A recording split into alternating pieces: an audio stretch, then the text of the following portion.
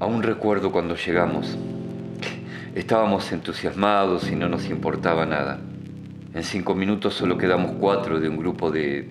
no sé, no me acuerdo cuántos.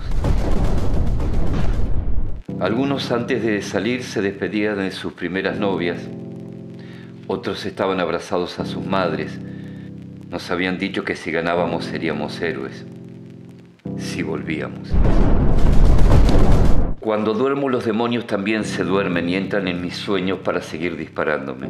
Todavía están en mi habitación, cargan sus armas, detonan sus bombas y gritan hasta aturdirme.